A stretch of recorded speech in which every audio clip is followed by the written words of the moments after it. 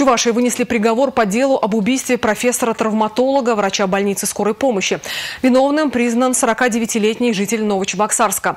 Мужчины имели совместный бизнес. При этом преступник уже имеет непогашенную судимость за кражу в крупном размере около 4 часов утра 15 июня прошлого года в своем служебном кабинете больницы скорой медицинской помощи в Чебоксарах было обнаружено тело 80-летнего врача-травматолога этого лечебного учреждения с телесными повреждениями, свидетельствующими о криминальном характере его смерти. В ходе неотложных следственных действий и оперативно-розыскных мероприятий установлена причастность к убийству злоумышленника, который 17 июня был задержан. Ему назначено наказание в виде 12 лет лишения свободы с отбыванием в колонии строгого режима режима.